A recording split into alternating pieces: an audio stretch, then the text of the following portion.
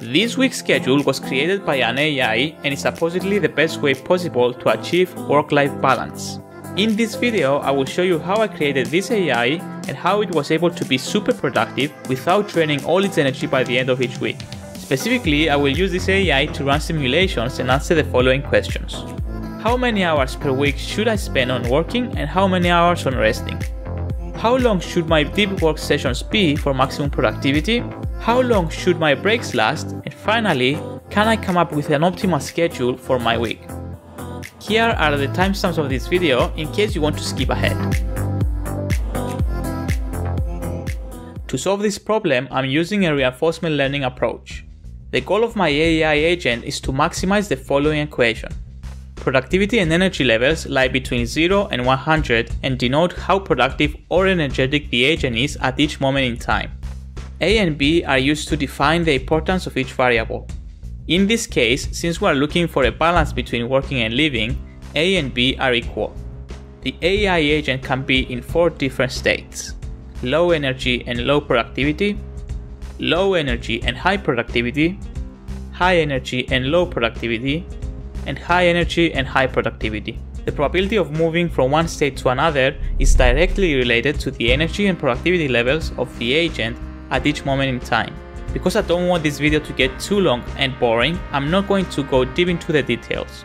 If you want to find out more about the problem definition, I have included a link with a blog post in the description below.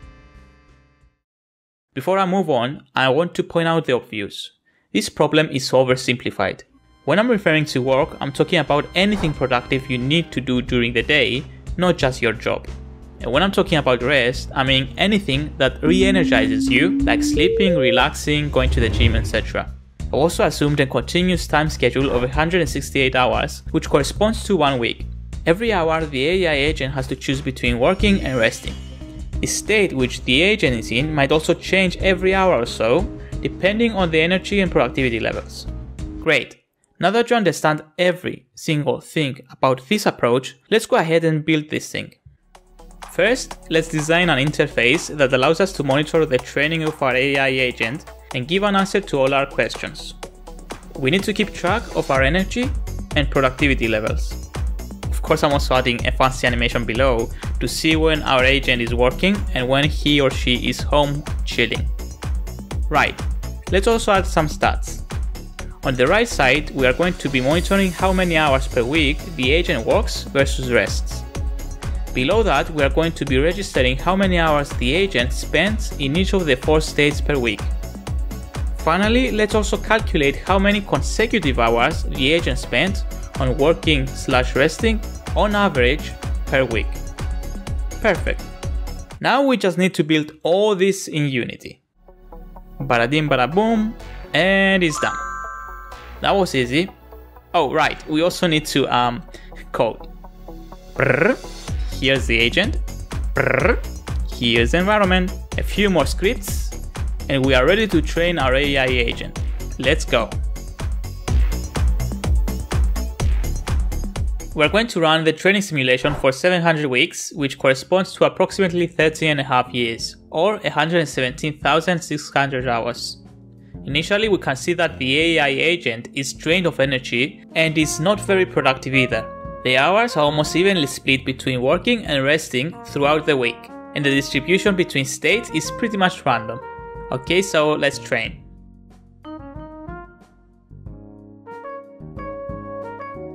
By week 20, just like millennials, our AI agent is tired all the time, but at least now it has begun figuring out how to become more productive. If we take a look at the state distributions, we can see that our AI suspects that being in a high energy, high productivity state is much more desirable than being in a low energy, low productivity state, which is obviously true. Our aim is to see the agent moving away from low states and towards high states. Keep in mind that even if the agent has extremely high energy and productivity, the high energy, high productivity state is not guaranteed. The randomness element might force the agent to move back to a lower state, just like in real life, things can always go wrong despite the energy and effort you put into your work. Right, let's continue then. Between weeks 30 and 60, the AI agent realizes that it is still always tired, so it decides to experiment with increasing the resting hours per week. Okay, so let's speed things up and see how that goes.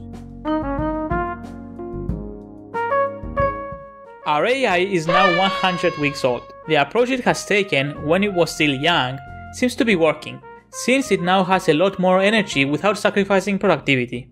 We are also now beginning to notice a new trend. The number of consecutive work hours seems to be going down, whereas the consecutive rest hours are going up. Great, now that we know exactly what to expect, let's fast forward and run the training simulation for 600 more weeks. And if for some weird reason watching simulations is not mesmerizing for you, you can skip ahead to week 700. You weirdo.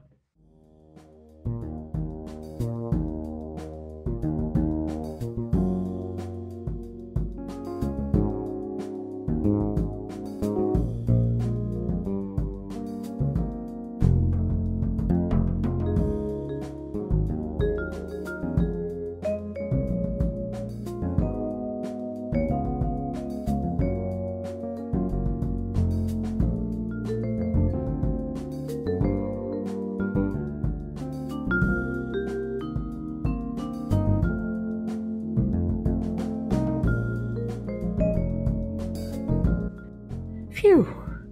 We've made it to week 700. Our AI agent is as productive and as energetic as it can get. This shows us that the training is over and that our AI somehow managed to find a balance between working and living. Now that the simulation is over, let's go back to the questions we said in the beginning and see if we can answer them. So, how many hours per week should I spend on working and how many on resting?